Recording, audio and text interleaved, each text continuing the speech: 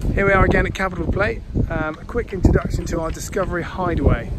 Uh, this is new to us, we're really pleased with it. Um, it's beautifully made.